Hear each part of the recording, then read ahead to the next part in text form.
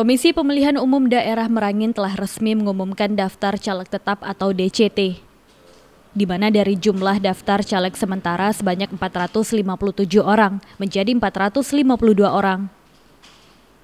Hal ini lantaran lima orang bacalek tidak memenuhi syarat atau TMS.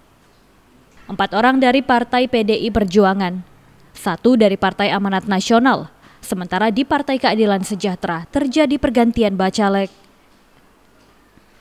Dari jumlah caleg tersebut terdiri dari 285 orang laki-laki dan perempuan 167 orang.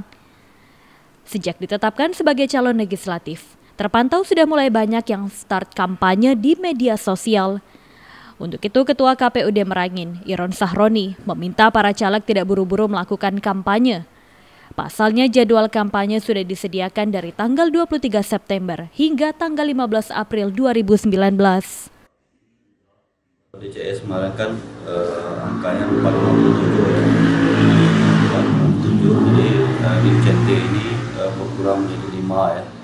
Dan menjadi 452 ya. Pengurangan-pengurangan itu ya, kekurang itu ada yang kemudian misalnya diganti ya. Nah, kemudian ada yang eh, tidak memenuhi syarat dan ada yang kemudian Lut Hidayat, Jambi TV.